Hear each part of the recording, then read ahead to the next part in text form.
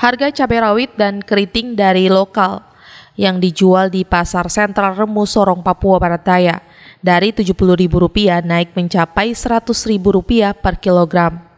Kenaikan ini sudah terjadi satu minggu belakangan ini akibat cuaca buruk. Pedagang mengaku harga cabai dari luar Papua juga terpaksa harus naik karena pengiriman dilakukan menggunakan transportasi udara. Jika menggunakan kapal laut, barang yang dikirim akan rusak harga karena apa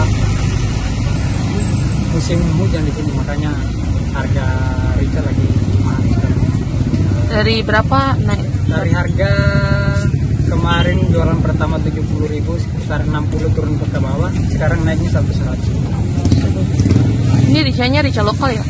Ini bukan ini dikirim dari pesawat. Hmm. nah dari Makassar kirim ke sini karena yang lokal sekarang harganya naik lebih naik lagi stok menipis, sedangkan kebutuhan meningkat.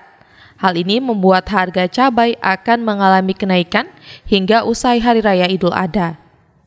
Sementara bumbu dapur lainnya seperti bawang merah dan bawang putih serta tomat, kenaikannya tidak signifikan. Flora Batlayeri, Kompas TV, Sorong, Papua Barat Daya.